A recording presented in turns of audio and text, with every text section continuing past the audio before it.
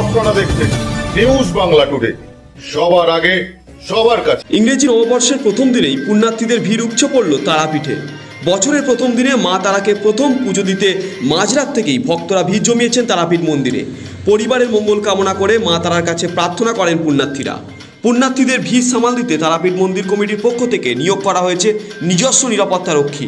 নিরাপত্তা সুনিশ্চিত করতে পুলিশ মোতায়েন করেছে তারাপীঠ থানা।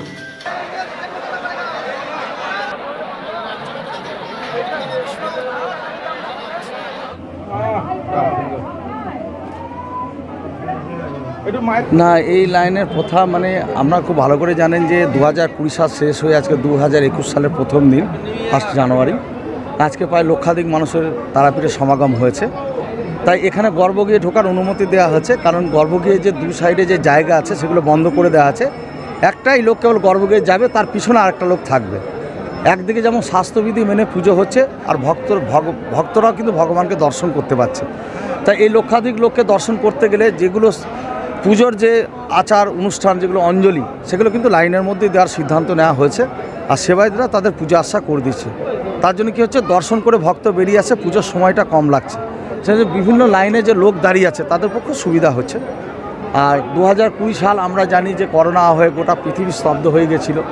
সে ভয়ঙ্কর দিনকে, ভয়াল দিনকে মা, তুমি খুব শীঘ্রই পৃথিবীকে সুস্থ করো, আশার আলো দেখাও। এটা সেবায়ের থেকে আমাদের যারা ভক্ত আছে, তাদের সব একটাই প্রার্থনা। মায়ের কাছে বিশ্ব শান্তি চাইলাম, করোনার আবহ থেকে মুক্ত চাইলাম, মুক্তি হোক সবারই চাইলাম।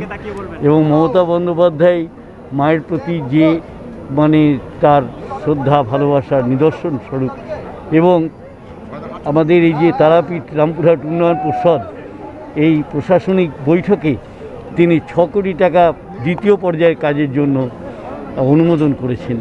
এটা আমাদের কাছে নববর্ষের একটা বড় বড় পরম প্রাপ্তি। করোনা সব থেকে দূরে যাক এবছর। মায়ের কাছে তো এই চাইলাম সবার যেন ভালো হোক সবার সাথে সাথে আমারও হোক। দু হাজার কুড়ি যেন আর কখনো ফিরে না আসে। আর সবাই ভালো থাকুক। ব্যাস। বীরভূম থেকে সৌভিক রায় প্রতিবেদন নিউজ বাংলা টুডে।